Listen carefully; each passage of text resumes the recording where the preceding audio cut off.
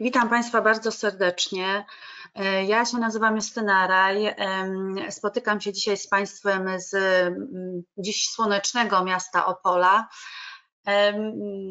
Witam serdecznie. Dziś spotykamy się na w zasadzie takich warsztatach, szkoleniu, ale bardziej warsztatach, wymianie doświadczeń bo wszyscy jesteśmy tutaj praktykami w zakresie kadr w OPS-ach, e, ewentualnie też w PCPR-ach, bo często jesteśmy połączeni.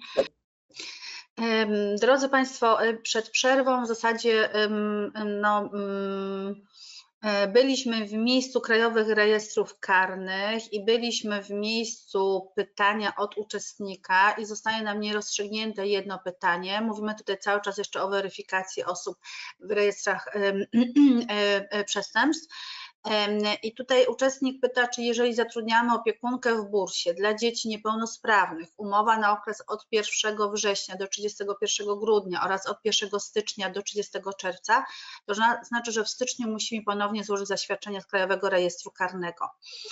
E, to też jest kwestia uznaniowa dla pracodawcy, bo domniemywam, że jeżeli to jest takie, tak, taki podział, to, to są jakieś umowy zlecenia, tak? Jakbym mogła tutaj Pani, czy Pan doprecyzować, czy, te, czy opiekunka świadczy tą pracę w oparciu o umowę zlecenia, czy o umowę o pracę.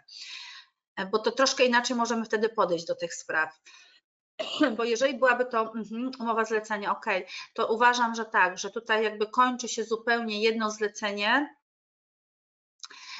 i jakby jedno zlecenie z drugim jest niezwiązane i że powinna po tych sześciu miesiącach ta osoba przynieść nowy, nowy, nowy krajowy rejestr karny, tym bardziej, że no to jest też taka sytuacja, że to jest dokładnie z dziećmi i tym bardziej, że to są dzieci niepełnosprawne, tak, więc jakby komunikacja z dzieckiem, gdy coś się dzieje też może być, może być trudniejsza.